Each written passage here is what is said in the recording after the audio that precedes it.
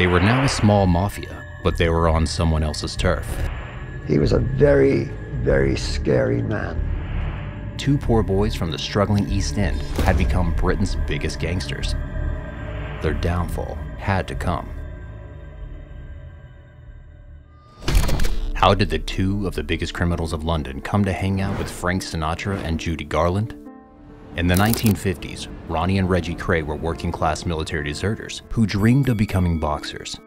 By the 1960s, they were East End celebrities. David Bailey wanted to photograph them, and they were invited for TV interviews. How much has this trial cost you? It's cost us roughly £8,000. And how do you feel about that? I don't suppose anyone likes the idea of spending that money for no reason at all, you know. But not everything was as it seemed. The Kray twins climbed the ranks of London society through arson, robbery, gambling, protection rackets, and even murder. Their fall was as quick as their rise when the London Metropolitan Police decided their notorious gang, the Firm, had to stop. Here's how the Kray twins became Britain's most notorious gangsters.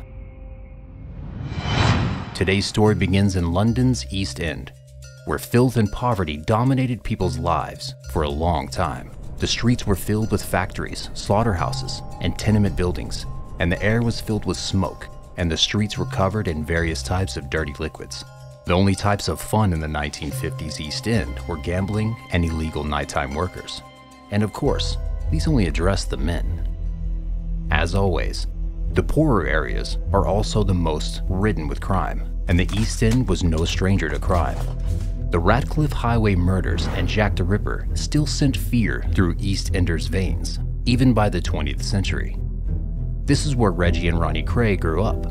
They were born on October 24, 1933, 10 minutes apart, in Haggerston, East London. They were raised by their parents, Charles Sr. and Violet Annie, but also by their older brother, Charles, who was six years older than them. But Ronnie and Reggie were mostly raised by Violet, and the many women around her. I met this charming, lovely, kind, typical East End mother who just happened to be the mother of the most notorious men in London. Charles Sr. was a traveling clothes trader, and in 1942, he ran off so as to not be drafted into World War II. Strangely, this would inspire his sons later on. Even though the twins were raised mostly by women, they always had a penchant for violence and disobeying authorities. They dropped out of school at age 15 and started working at Billingsgate Fish Market. This would be their first and last legitimate job. As teenagers, the twins revered their grandfather, Jimmy Cannonball Lee, who was a renowned boxer. So their dream was simple follow in Jimmy's footsteps. Before long, Reggie did become a professional boxer. This is when, according to Charles, the difference between the twins became obvious. Reggie was calculated, rational, and wanted to perfect his skills. Ronnie was like a bull in a china shop. His violent tendencies outshadowed his desire to get better. This is why Reggie soon became the leader of the two. In 1952, Ronnie and Reggie were drafted into the British Army, as were many men between 17 and 21. But on their first day in training, they got into a heated argument and punched up their sergeant. This moment, as silly as it might sound, is a perfect indicator of the men they were going to become. Of course, the twins left the army right after beating up their training sergeant. But the next day, they were arrested and sent to the Tower of London. They were among the last ever prisoners to be held in that tower. During their two mandatory military service years, Ronnie and Reggie were in and out of prison, always getting into violent fights and doing exactly the opposite of what they were told. Needless to say, when this ended, they were dishonorably discharged. As a consequence, their boxing career was also a closed chapter. So they started thinking of other ways to make a good living. First, they borrowed money from Charles to lease a pool hall in Bethnal Green, also in East London. This wasn't your average fancy London billiard club. It was a gathering spot for all the dodgy men the twins had befriended in prison and in the army. Soon enough, the club became storage for their friends' stolen goods. They were now a small mafia, but they were on someone else's turf. One day in the mid 1950s, the three Dockers invited the Kray twins to their pub for a drink. The twins knew this wasn't a friendly invitation. The Dockers were an infamous gang at the time, and they were upset the Krays were growing their business on their territory. But even though the brothers walked into a trap, they emerged victorious. The pub's landlord returned, expecting to find the brothers passed out. He found the Dockers unconscious on the floor, with Ronnie still punching one of them senseless. In 1956, the twins also entered the war between the top kingpins in East End, Billy Hill and Jack Spot Comer, fighting for Comer. This was the beginning of the Kray twins growing their gang and creating the notorious Firm. How did they expand? It was a mixture of fear and respect. Respect because women and children are untouchable. Ordinary guys who went to work and that are untouchable. Any rows we had was only amongst ourselves. It was a pretty honorable rule for a violent gang that made money out of crime, but that was just a side of the firm. In 1956, Ronnie got up and shot a man for a very petty reason, shocking even his brother. He was a very, very scary man. Believe me, I've met a lot of scary people, but Ronnie Kray was a very, very sick, psychopathical, schizophrenia, and manic depressive, all rolled in one. In one word of his mouth, he meant everything he said. While his menacing figure could do wonders in the shady business the gang conducted, this was too much. It could easily start a gang war and turn everything into dust. But before he could do that, Ronnie was sent to prison. However, this was just the beginning of his turmoil. On Christmas Day, 1957, Reggie and Ronnie's aunt, Rose, died, and Ronnie had a severe mental breakdown. As a result of this, he was examined by prison psychiatrist and diagnosed with paranoid schizophrenia. He was thus sent to Long Grove Asylum near Epsom. But mental institutions are much laxer than prisons, so Reggie decided to get his brother out. What decided me to to, to, to get Ron away from Long Grove Nuthouse in Epsom was some of the stories he told me about the place. One day he was sitting there eating an apple, and this nutter come along and smacked him in the eye. As he it just because he was eating an apple. Because the place was full of nutters. So Reggie went inside the asylum, grabbed his distraught brother, and the two skedaddled, disregarding Ronnie's prison sentence completely. Now the Kray twins and the firm were out to conquer the world again. In the late 1950s, Reggie got his hands on his first West End bar, Esmeralda's Barn, as a deal to seal a conflict with a landlord. The deal seemed good, and Reggie made some profit at first, but in came Ronnie. They took the East End to, to Knightsbridge, it, you know, all them ugly looking bastards with their cuts down their faces and all that, and, and uh, flat noses, and they should have left the club as it was and run it as and without it, and just sat back and, and got the, collected the debts that was owed. That's all they needed to do. But of course, they ruined the place like they ruined every thing, you know. This was a problem. Reggie used threats too, but Ronnie simply took his methods to the extreme. And then there was his paranoia too. I'd see people laughing and having a good time five minutes before he walked through the door. The minute he walked through the door, that laughter stopped.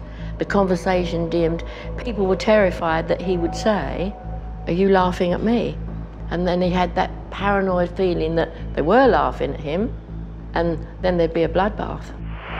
It might sound like the beginning of the end for the Krays, but in 1960, they were just getting started. The firm was a huge business, and the Kray's older brother Charles was also a valuable member and a guide to Reggie. Whether it was armed robbery, protection rackets, or simply gambling, Reggie and Ronnie were pulling all the strings of the mafia world to rise to the top. When things were at their peak, Reggie opened the Double RR Club on Bell Road. This was the beginning of Cray Brothers getting friendly with the big stars. By now, they were seen as the fancy nightclub owners on the swinging London scene. First, Charles had a fling with a famous actress, Barbara Windsor. Then came all the stars Judy Garland, Shirley Bassey, and Frank Sinatra passed through their clubs, sharing drinks or jokes with the gangsters. When this wasn't happening, famed photographer David Bailey was immortalizing the brothers as two interesting characters from the London scene. This was the top of the mountain for the twins, as Ronnie would write in his autobiography. Now, two poor boys from the struggling East End had become Britain's biggest gangsters. But the 1960s would be a real roller coaster for the Kray twins. By the end of the decade, Reggie and Ronnie would be behind bars. In 1960, the Betting and Gambling Act was passed, legalizing various forms of gambling in the UK.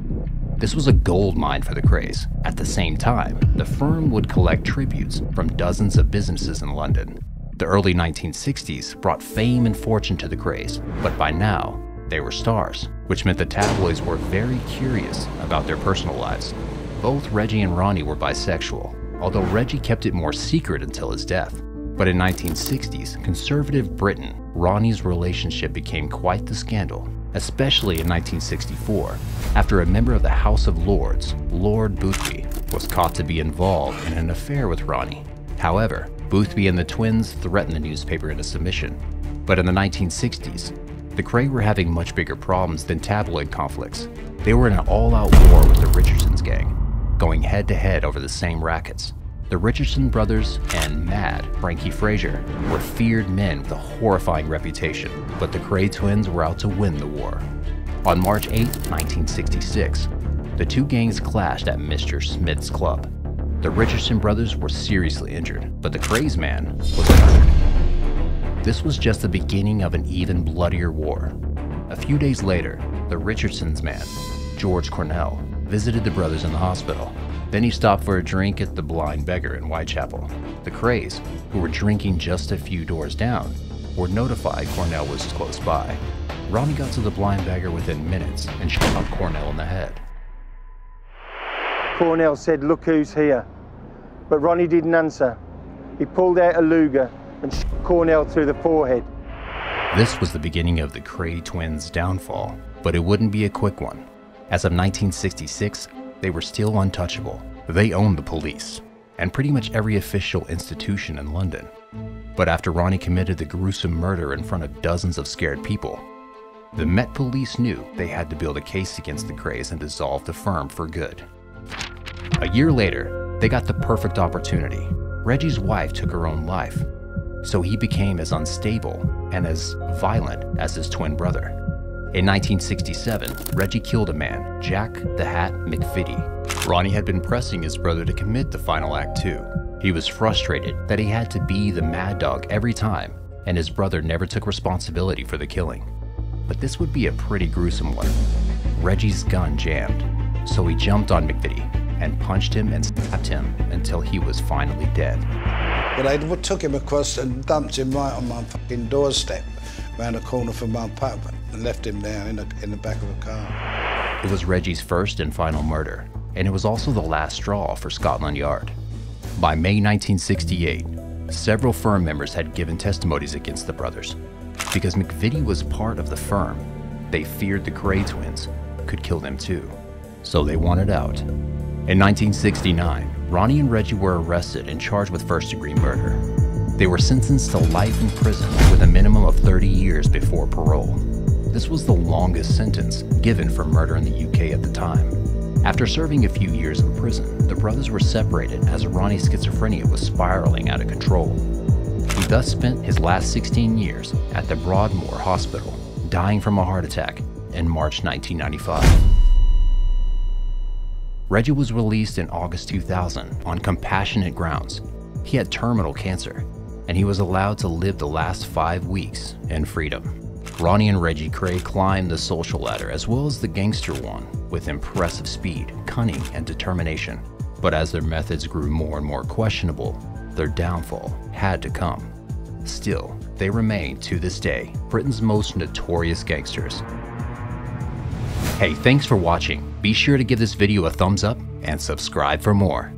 See you next time.